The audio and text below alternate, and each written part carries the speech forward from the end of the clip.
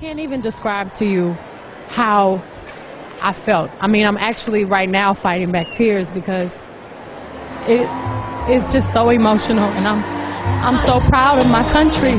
And there are certain people in the world that are just God touches, and this man was born for this, and he was born to lead us. And I just feel so inspired and so proud.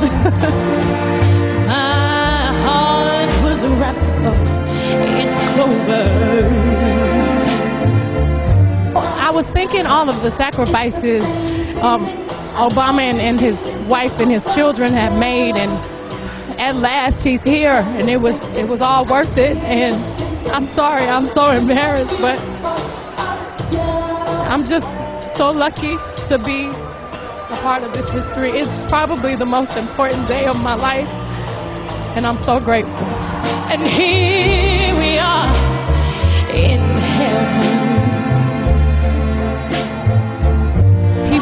want to be smarter. He makes me want to be more involved.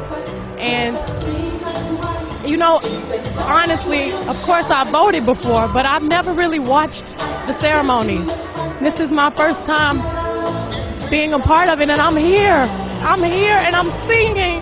So that that explains my I'm so overwhelmed. You know, I have